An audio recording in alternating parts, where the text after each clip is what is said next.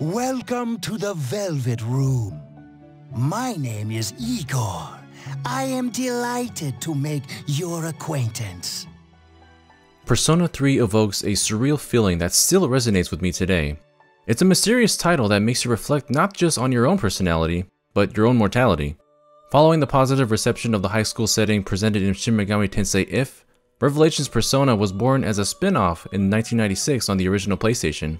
Persona 2 Innocent Sin, followed by Persona 2 Eternal Punishment, are a duology that was released in 1999 and 2000 respectively, taking place in the same universe. While Revelations and Innocent Sin saw their PSP remake released overseas, the same can't be said for Eternal Punishment. These three titles introduce the concepts of the different masks known as persona that sleep within the sea of our souls, the demons that oppose them, as well as the residents of the Velvet Room. Hey there friends, so good to see you. Persona is a series that is near and dear to my heart. To say that the third entry changed my entire perspective on games as a whole is not an understatement. The Persona series isn't simply JRPGs about high school students learning to use the power of monsters and demons to fight shadows.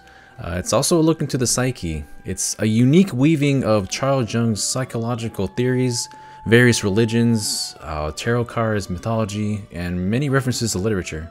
In a literal sense, it takes the concept of personas being a mask that we use to face challenges and obstacles in our lives. These contrast against our own personal shadows, which is conceptually the emotional blind spot of the psyche that we constantly and internally are at ends with. That's only a very basic introduction to the works of Jungian psychology, and sets a conceptual foundation that Persona is based on. Following the first three titles, Persona 3 was released in July of 2006 and saw an international release a year later in August 2007. Back then, however, the series was rather niche. I only got into it because of multiple friend recommendations. Even at the time, Atlus was hard at work making more complete versions of these games. That led to the expanded version that I got introduced with, Persona 3 FES. FES as in festival. FES added a lot of new little features and upgrades. The main base game known as The Journey was paired with a new epilogue titled The Answer. You pretty much had no reason to pick up the original title since this edition only expanded upon it, making it the definitive edition at the time. But this wouldn't be the only time that this game got an expanded version. Arriving on the PSP in November of 2009, Persona 3 Portable was yet another release that included more enhancements and additional features. After the critical acclaim of Persona 4, this version was given features to align it better with its successor. This was an exciting time for the series, as it was getting put on the map and its fanbase was steadily growing overseas. However, while Persona 3 Portable gave us plenty of additions, it did take some things away and compromises had to be made. Ask someone who has played both Persona 3 FES and Persona 3 Portable which one they prefer, or which one is their definitive edition, and you may just get a different answer from each person. Now that Atlus is giving us ports of the PSP version, you might be wondering what you're gaining or missing out on if this is going to be your first time diving into this entry. If Persona 5 has been your only experience with the series thus far, there might be some aspects you'll miss, or changes that you'll be thankful for. But by far, the most pivotal difference between these versions comes in the form of a new protagonist that you never saw in the two previous iterations of Persona 3. And let me just say, I hope you like the color pink. There are some very unique differences between the PS2 version and the PSP version. I'm not going to tell you that you're right or wrong by preferring one or the other, although there might be some bias. This is me telling you what Persona 3 is, what's unique to the PSP version, mixed in with some thoughts and feelings on both titles. Despite their differences, I want to relate to you a reason to give Persona 3 Portable a chance. Let's start from day one.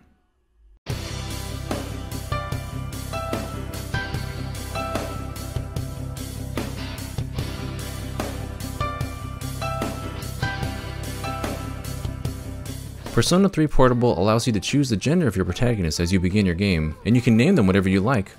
This series has a bit of an issue when it comes to the canon name of protagonists, often changing them between official manga, animated series, live action plays, and even just universally agreed upon fan names. You're uh, just gonna have to deal with what I call them in this video. While the original title follows Makoto Yuki, who I call ever since the 4-part animated movie adaptation, you can also choose to play as Kotone Shiomi, who I call since it was her first official name in a video game, Puzzle and Dragons. Wow, I can't believe I've actually mentioned this mobile game here. Gotcha titles are a blessing and a curse, man.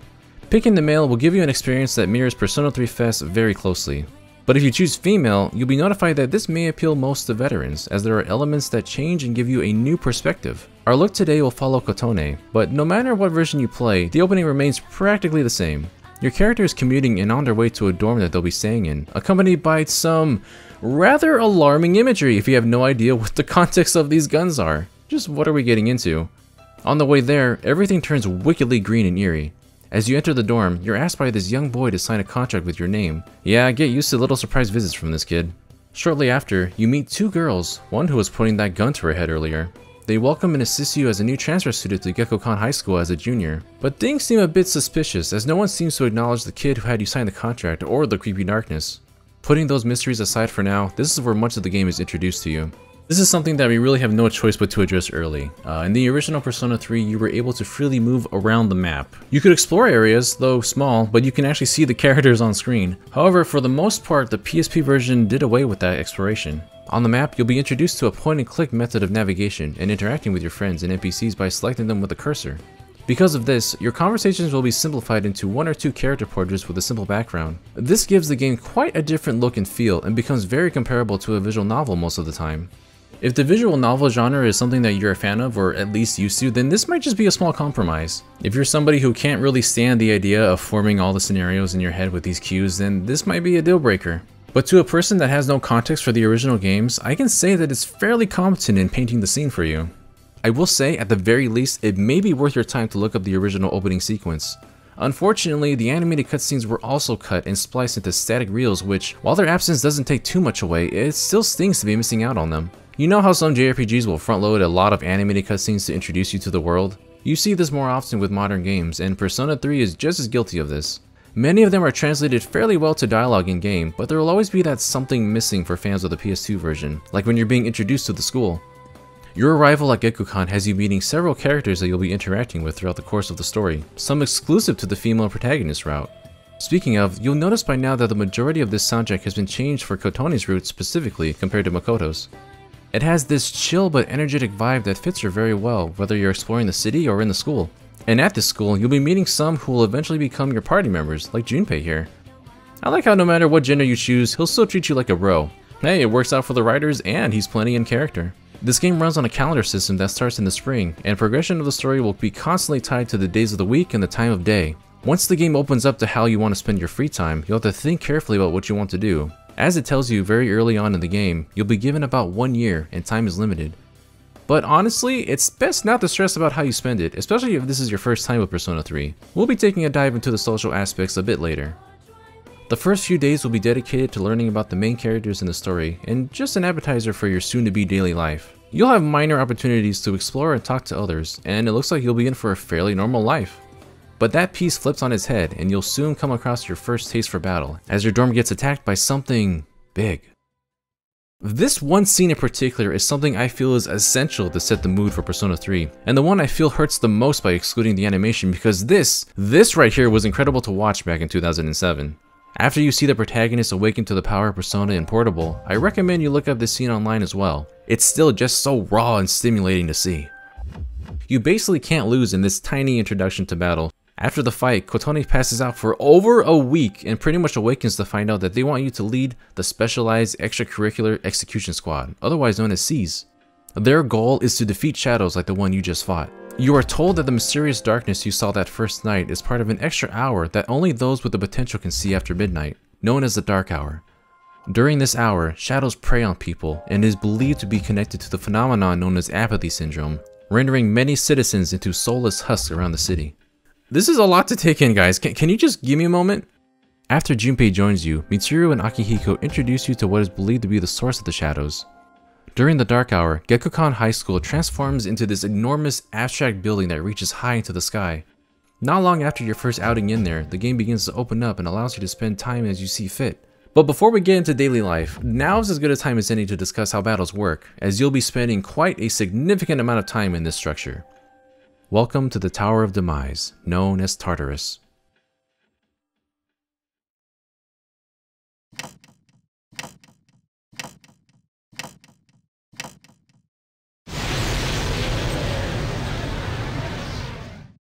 The long climb begins here. The core of exploration and battling happens in Tartarus, where you'll be ascending up many, many levels of randomly generated floors. At set floors, you'll battle with a mini-boss, and eventually you'll reach a dead end. But after a full moon, this path will unlock and you can continue your ascent until you reach another dead end after several floors and a few mini-bosses. This process repeats and is how you'll be leveling up. As for battles themselves, well fortunately Persona 5 has been on most platforms and consoles at this point, uh, so people who have played that have a bit of a frame of reference to go off of. By the way, the whole thing about putting a gun to your head, prepare to see that. A lot. Shadows appear as these gooey blobs in Tartarus, and you'll battle them once you make contact. You can attack them from behind for a preemptive strike, but if you get hit from behind, you'll suffer a loss of a turn. Thankfully, there's no random encounters here. You can use regular attacks or stronger attacks with your persona. You'll use SP for magic and HP for physical attacks, so you'll have to be constantly aware of your party's health. Your main goal in battle usually comes down to hitting your enemy's weaknesses, which will knock them down and grant you one more move, Knock down the entire group of enemies and you can initiate an all-out attack. But you have to be vigilant, as your enemies can trigger your weakness and give them one more turn too. There's ways to prevent this, like increasing your evasion, accessories to help you avoid elements, and tactics like defending to negate an enemy's extra turn. And then comes one of the major differences between Persona 3 FES and Persona 3 Portable. I could have just started this off with, you can control your party members and end the video right there. No, no, wait, wait, wait!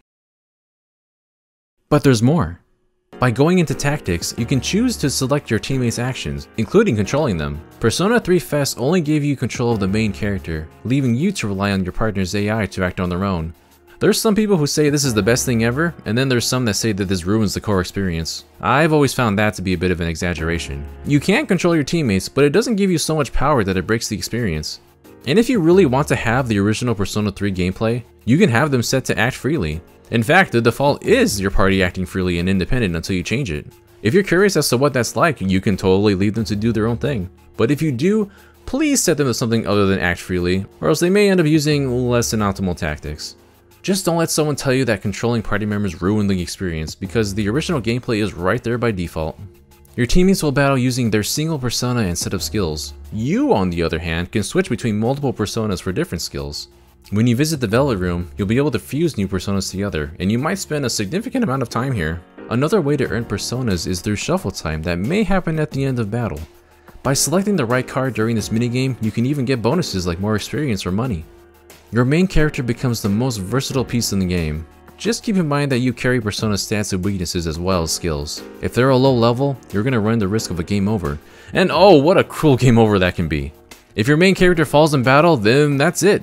Even if your other party members have an option to revive you, you're done. That can really suck, especially if you're caught off guard by an enemy getting multiple turns off, or, you know, getting destroyed by an instant kill attack. That's never fun. Did I mention this game can be just a little bit difficult? Thankfully, there's more difficulty options that you can choose from at the beginning of the game, but you can't choose it once you lock it in, so choose carefully.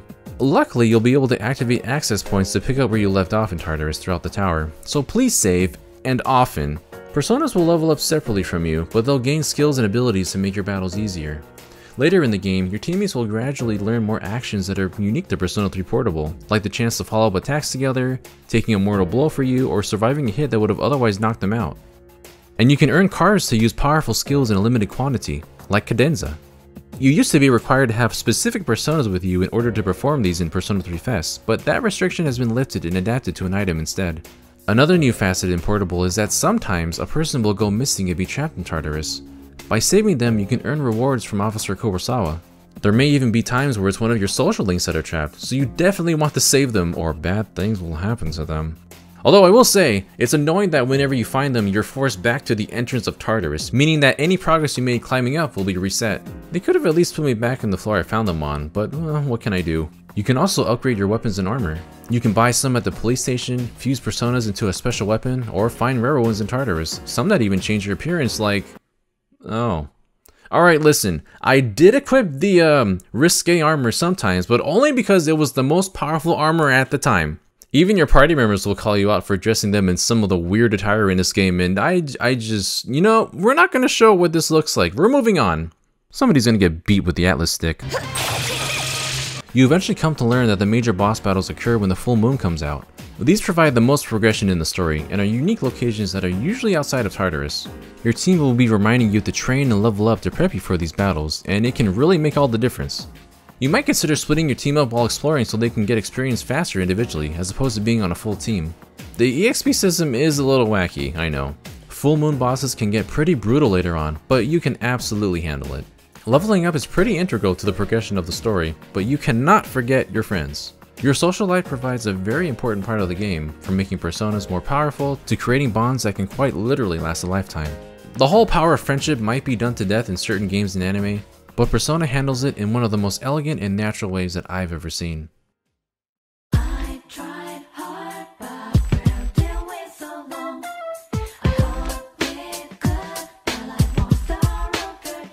The leap from the Persona 2 duology to Persona 3 is the most radically different of all the mainline games in the series. This is mostly due to the calendar schedule, and a system that lets you really get to know the cast of characters, both within the main cast and a fair amount outside of it.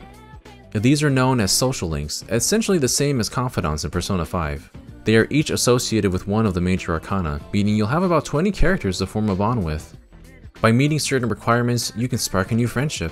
On certain days of the week, you'll be able to hang out with a character and deepen your relationship with them. They each have their own schedule, as do you, and are only available on specific days of the week.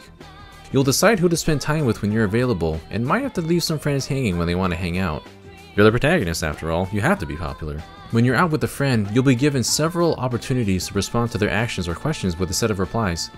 More often than not, your answer will make these little happy notes pop out, and they're not there just for show. You can think of these notes as points, and you'll have to reach a certain amount to reach the next level of your social link the next time you hang out. Some choices will get you none no matter what, while certain replies will get you more than others.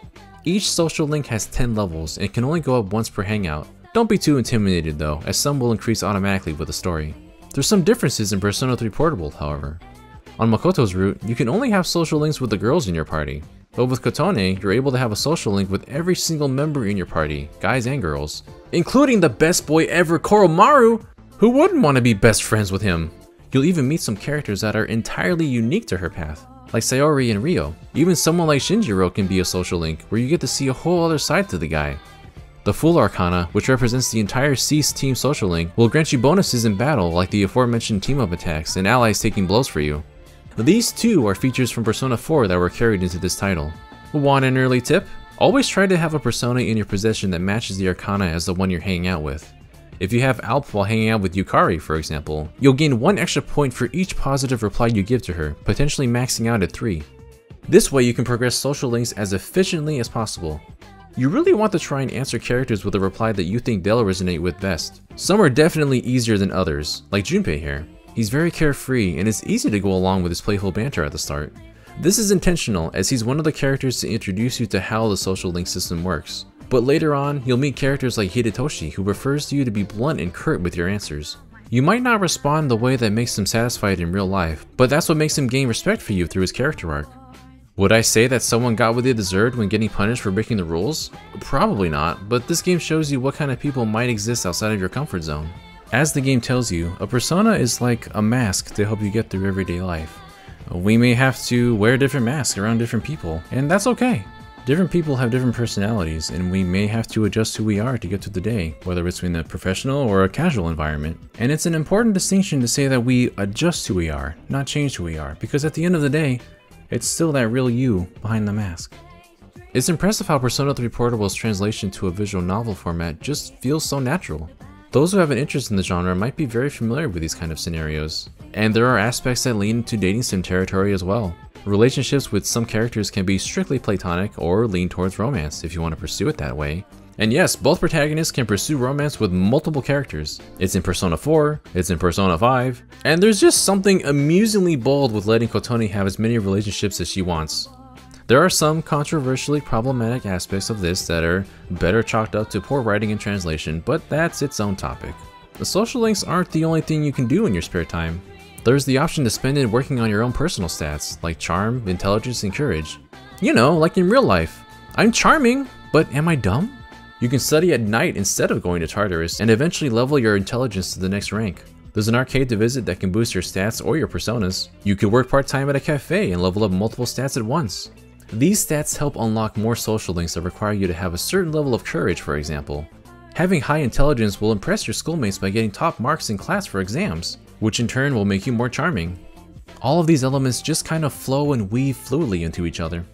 And by the way, you will have to actually pay attention in class. I felt like my brain expanded so much learning random facts in these classes, some I could even remember from my own time in school. Or you could spend several minutes of your life trying to win this Jack Frost doll that for some godforsaken reason does not want to get grabbed by this money devouring cream that gives you way too many tries to get a single one. This is not gambling, this is required to give to Elizabeth or Theodore in a request not just one, but three of these stupidly adorable creature plushies. Oh my god, I want this to end. Why are you like this?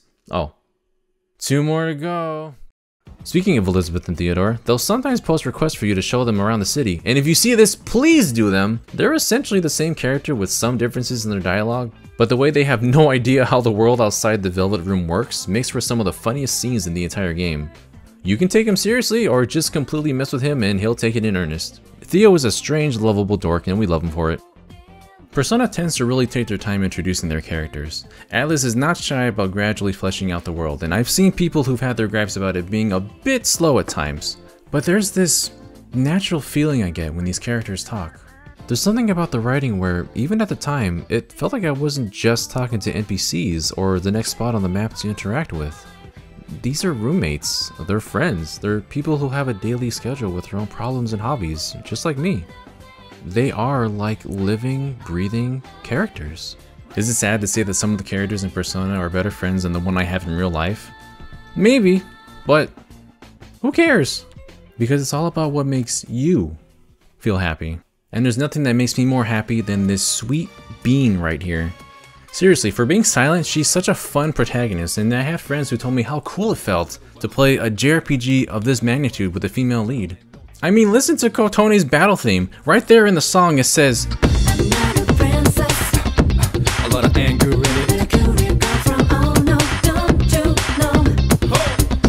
You don't gotta tell me, girl, she's not a princess, she's a queen! A queen! So what other reasons would you still argue for Persona 3 FES over Persona 3 Portable? In summary, FES has fully explorable areas, you're able to view characters in cutscenes, and it has an epilogue. Portable has the original game with Makoto, and a new path with Kotone that introduces new story beats.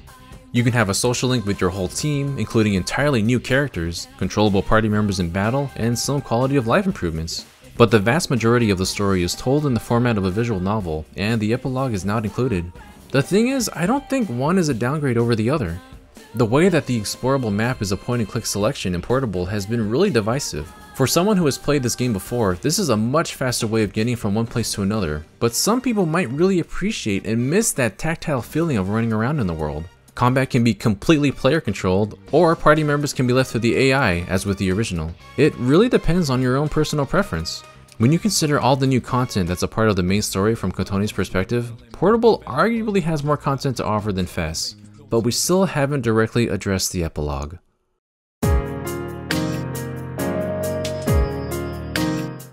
In short, the answer takes place after the events of the main story, labeled The Journey in Persona 3 FES. Without spoiling the main game's plot, which is really tricky to do if this is your first exposure to Persona 3, it makes Aigis the main character who can now enter the Velvet Room. You are guided by a new character, Metis, who accompanies you down the Abyss of Time, which is structured just like Tartarus. On the bright side, you get a lot more time and backstory for the members of SEES, as well as a look into Aigis' character development. On the downside, at least for me and some others that I've asked this about, the answer is really hard. At its core, the gameplay is Tartarus and only more Tartarus. There's no school life, no social links, and no day-to-day -day calendar schedule. Your Persona compendium in the Velvet Room gets entirely wiped, and now the fusion combinations are completely rearranged. You can't immediately rely on any old favorites you might have used in the main story. Shin Megami Tensei games can be quite difficult, and this mode is some of the hardest content you can find in the modern Persona games, partially because there's only one single difficulty option. If you play Persona 3 in any shape or form and you find yourself curious as to what happens beyond the main story, uh, I can honestly tell you, just find the scenes online. Not because Persona 3 FES is the more difficult version to secure a copy of and play, but because I don't think pulling your hair out to beat some of these bosses is honestly worth the struggle. I've beaten the 25 or so long hour campaign and I don't really want to ever do that again. The epilogue story is fascinating and does deserve a watch, but if you do happen to secure a version of Persona 3 FES and want to do the answer yourself, then Godspeed to you. Persona 3 has given me such a roller coaster of emotions and continues to do so every time I play it. And honestly, I didn't think I would even stick with it my first time around. After playing FES on the PS2 for about 10 hours or so, I stopped, partially for reasons and opinions about the game that I still have today. Because of its structure, you only really progress the story when a full moon appears in the first stretches. The time in between can provide story beats, but it mostly lets you do whatever you want with the social aspect when you're not exploring Tartarus. To put it simply, there's quite a bit of dead air in between that time, and it can be draining. I stopped around the time that Fuka disappeared right before the next full moon and stepped away for a pretty long time. But the more I thought about it, the more I told myself, well, maybe it gets better. I want to see more of these characters. I want to know what happens. So one day I picked it back up and kept powering through. And let me tell you, the story gets very good in the latter half and leading up to the end. I'm pretty sure at this point I'm a bit spoiled by recent Persona games because the pacing of the story was immensely improved with Persona 4. Just something for you to keep in mind if this is your first time playing. Would I be happier if Atlus just combined the positive improvements of Persona 3 FES and Portable together into some definitive edition? Oh hell yeah. But does it need a full-blown remake to look like Persona 5 or something similar? Um, no? Many of us have seen the argument of redoing all the visuals as we've seen in Dancing in Moonlight. And to some extent, I agree, it's still crazy to see them in such high resolution models like this. But honestly, the game can be remastered from the PS2 version with a playable female route and I'd be happy. The structure of the game is already set in stone, there's not much of a way to change it after two revised versions. In just my opinion, I feel like the game is fine as it is and is just a product of its era. I wouldn't say it needs a remake, but there's always going to be rumors. And we're bringing this up when there are games that deserve a remake much more than Persona 3, and they're just sitting right there. What are you doing, Atlus? I'm just so glad that Persona 3 Portable can be played by more people now. Kotone has not been treated kindly by Atlus and deserves so much better than what she's been getting. Actually, can, can I just rant about that for a moment? She didn't appear in any of the Persona 4 arena games despite the entirety of SEES being playable. But Makoto also wasn't there because of plot reasons, so I understand that. But you did see everyone in Dancing in Moonlight, even him! So why not at least let her be a downloadable character or something? For crying out loud, you can dance as Theodore to music that plays only in Portable Story that they remixed just for this game. Do you not see something wrong with this? She's also not in Persona Q, which crossed over Persona 3 and 4's cast together on the 3DS. It's like she just sorta never happened? She's also not a secret boss the way that Makoto and you are in Persona 5, which I think could have been extremely cool. Then there's the fact that Kotone does not appear in the Persona 3 animated movies since, well, she just wasn't the focus. Her canonical existence was more or less just banished. But it has gotten better. Kotone did appear in Persona Q2 New Cinema Labyrinth, where her charming personality is fantastically shown. I mean seriously, there's this part where she disguises herself as a cop, and then when trying to pretend to be one, ends up just karate chopping and cuffing another cop, and then the Phantom Thieves themselves are all like, holy... Yeah, she will never leave my 3DS home screen. Kotone was also prominently shown during the Persona 25th anniversary, being displayed all over promotional art and merchandise. As she should be! It's nice to see Atlus acknowledging her fans more now, because she is my favorite Persona protagonist. As with Maya from Persona 2 Eternal Punishment, the series can do female leads in a game very well, though she's technically a dual protagonist with Tatsuya. Will Persona ever get a solo female lead one day? We can hope whenever Persona 6 happens. Persona 3 was introduced to me in a pivotal part of my life and helped shape the kind of games I grew to love. It's a rare game that made me realize things about myself and the people around me. Like a good movie, it kept me thinking long after I rolled credits. I'm sure you've met some individuals with a unique perspective on life. Persona games are a wonderful mix of well-written characters and personalities that all help to build a world that feels like it's living and breathing. They are some of the strongest character-driven stories I've ever played, and the overall narrative of this entry hits strong. It's quite literally the phrase memento mori, which can be translated to remember that you are mortal. The deeper you dive into it, the more the message resonates. We all live on limited time, and we should do what we can to make the very most of it. That is absolutely one of the messages that, by the end of the game, grabbed me by the shoulders and shook me, telling me, You're not going to be in this world forever. And it's so perfectly represented in a game where you have just a limited amount of time to do everything, like maxing out everyone's social link. I told myself in-game that I should have spent more time with you, and then it hit me pretty hard. It was a shockingly adjacent feeling to me thinking, man, I wish I spent more time with this friend in high school or with that friend in college. Because I've lost contact with some of them now. Everything that we do, the impressions that we give, the people that we spend time with, the legacy that we leave, the time we have for that is very finite. And Persona 3 honestly helped me grow as a person.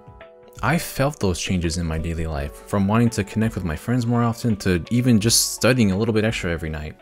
That text box that you see over and over that says, you should probably study tonight, it just kept nagging at me over and over, especially when I was in high school and college at the time. But then I told myself, you know what? Maybe I will sit down and study a little bit more tonight. We all resonate with games differently, and I think this game helped me grow in a healthy way. Will it do the same for you? I don't know. But it never hurts to try new things, right? It's just a way of life. And that concludes my quick look at Persona 3 and why I think Portable is definitely worth playing. If you're still here, thank you so much for watching. This is one of the series that I am majorly attached to, and it's made my heart happy to see it grow so much in popularity since I first started the journey on PS2. Now we can finally move on to arguing about more important things, like how to pronounce Persona 3 FES. As I mentioned earlier, we've been a bit spoiled by what Persona 4 and 5 has given us, so I hope you can give Persona 3 a fair chance. This is exactly like when you recommend a show and you're like, you gotta watch the first few episodes before it gets good. It's thankfully not as full price as it once was, so hopefully it's gonna encourage more people to give it a go. You know what's the best part about this game being on Switch? It's still Persona 3 portable! If you want to check out more videos like this, you can subscribe to our channel, hit the like and ring the bell for notifications. We've got a Twitch channel at Official GVG, and just for a dollar on Patreon, you can join our illustrious group on Discord, where you can tell me what your favorite persona is. It could be a game or an actual persona you summon, as as uh, long as it's not one of those spicy ones, like, like like one of the reasons this game is rated M. You know the one. Alright team, that's it for now. Good luck out there. Till we meet again.